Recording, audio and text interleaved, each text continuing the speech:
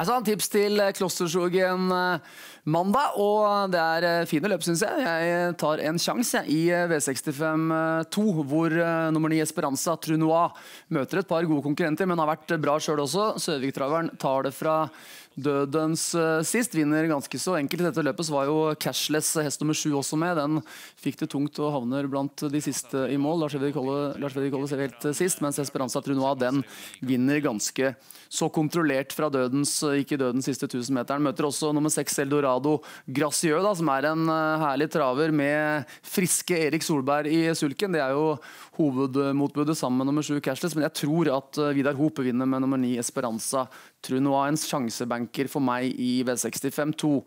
Uh, hvis man skulle velge å gå på noe annet, så syns jeg at uh, nummer fire XL Bolets i V65-3 har en uh, bra sjanse. En alternativ banker. Avslutta veldig bra på Sørlandet sist og tok ned gode dansken da, som dro unna i front for Lars Anne Kolle. Helt ytterst banen her ser vi at Øystein Tjomsland kommer med nummer fire.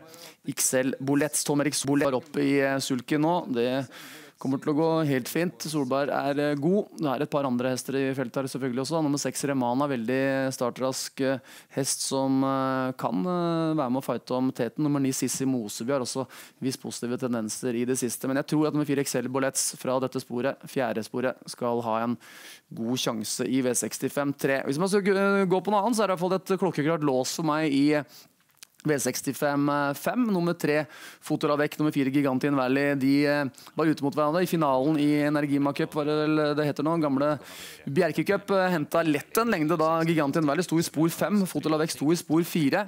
På oppløpet så får Gigantin Valley åpning og speeder inn til uh, seier. Trippel norsk bleier jo her. Lastikker blir nummer to fin avslutning til tredje av uh, nummer tre, Fotolavekt. Altså tre Fotolavekt, fire Gigantin Valley, et klokkeklart uh, låst. Gigantin Valley kommer ut etter litt rann, uh, pause nå, men hesten pleier å være bra etter pause, så det er ikke noe å uroe seg for. Hvis Gigantin Valley ikke er helt på topp, så er det nummer tre Fotolavekt som står klar til å overta ranken 4-3 i V65-5. Innleveringsfrist klokken 18.55. Lykke til.